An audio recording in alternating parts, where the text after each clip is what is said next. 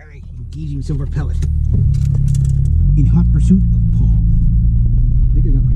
Yeah, okay, you got everything in here. You got everything? Yeah. Oh, he cheated. Took off before me.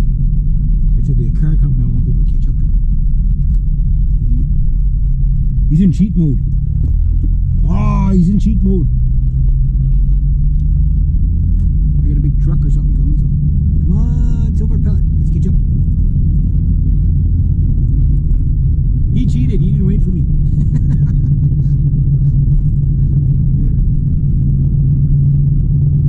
well, we got everything done today. Well, maybe not. We got most of the grass cut. We got all the aesthetic places cut. And then uh, we finished off the day. Um,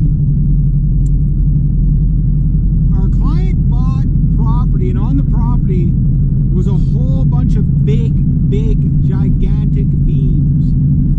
And uh, they're giant pine beams, like two feet by, not quite two feet by, say, by a foot and a half, kind of thing, 16, 20 feet long. So there's a couple of guys there sawmilling and all. And we just moved that last beam, and it had to be 500 pounds. Two guys moved it. Yeah, we moved it. We basically slid it, but get it off the trailer. But they cheated up there because they used a tractor to put it on the friggin' trailer. Yeah.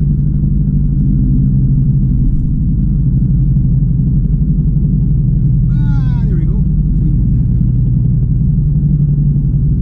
Gotta watch my speeds. See where he pulled in there. Oh yeah, I see him. He cheated still though. He took off before me.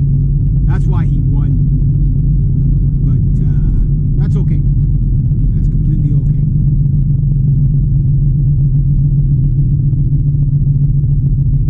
Now pull in right beside him. This guy with the camera, he can he can wait. I'm gonna pull in right beside him. Like that. See nice big dent on his truck? The only thing about a little car like this is you don't want to pull too close in because what ends up happening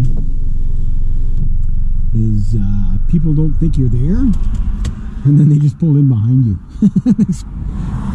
squish your squish your car. I should have backed in actually. Wow, with that thing. Avalanche. Like that's about the only thing you can really do with that thing I think is tow. You got like a four foot box on the back. I got more room in the back of this than I think they do in the back of that thing. All that all that gas money for just to be able to for a four foot box. Yeah. Yeah, yeah, yeah. Shouldn't criticize though. Yeah. I'm gonna have to stop here for food one pretty soon. It's a pretty good restaurant. Anyway, I'll wait for Paul to come out.